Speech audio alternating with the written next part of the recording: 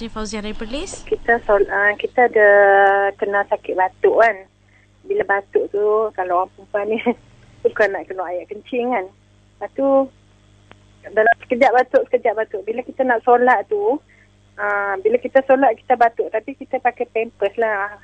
Lepas tu boleh tak kalau kita teruskan solat sebab saya kalau kita berhenti ambil uduk pun saya dia batuk dia keluar juga uh, soalannya. Saya.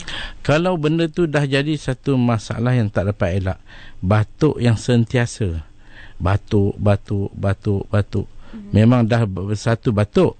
Memang tiap-tiap kali batuk terkeluar air kencing. Tiap-tiap kali batuk keluar air kencing. Kalau benda tu dah jadi macam umum balwa, darurat, maka itu tak ada masalah teruskan. Mm-hmm. Tapi kalau kita bukanlah selalu batuk, kebetulan hari itu tah macam mana batuk, bila batuk keluar kencing ha, itu batal solat kita. Ha, jadi sebenarnya tak setiap kali batuk keluar kencing kadang-kadang tak juga.